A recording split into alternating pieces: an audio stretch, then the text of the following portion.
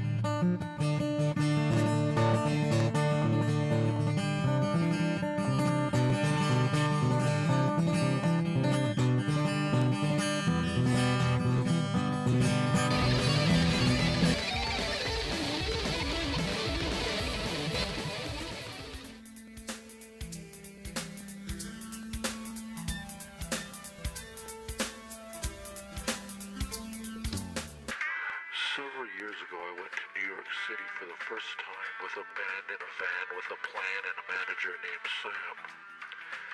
Not sure if all of the following events took place in one night or over the course of two or three.